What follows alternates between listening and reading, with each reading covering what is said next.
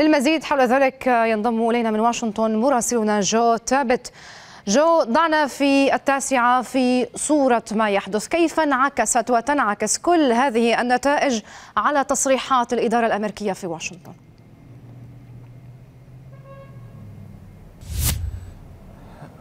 حتى هذه اللحظة م. لم تكتمل النتائج. الصورة هي على الشكل التالي. عملية فرز الأصوات مستمرة. م. أقله في ثلاث ولايات هي نيفادا أريزونا وجورجيا. م. على مستوى مجلس النواب لن نستطيع معرفة من سيسيطر عليه إلا الأسبوع المقبل. العمليات عمليات الفرز قد تستغرق أياما قليلة إضافية لكن الترجيحات لا تستبعد أن يفوز الجمهوريون بأغلبية أو بأكثرية بسيطة.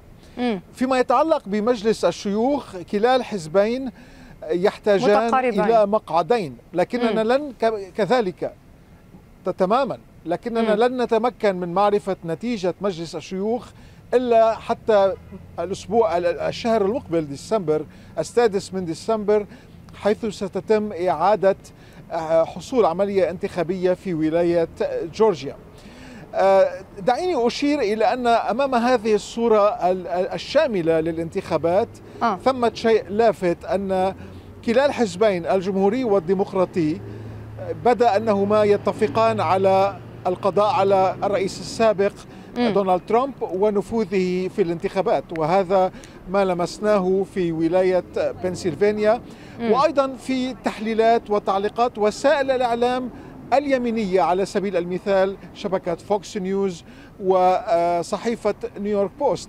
هاتان الوسيلتان الإعلاميتان المحافظتان في الواقع انتقدت انتقدتا دونالد ترامب واعتبرتا أن إسهامه ومساهمته السياسية تسيء إلى الجمهوريين، اذا طبعا المرحلة المقبلة ستكون مليئة بالتحديات على مستوى سياسة الرئيس جو بايدن الذي طبعا سيلقى معارضة قوية في مجلس النواب صحيح.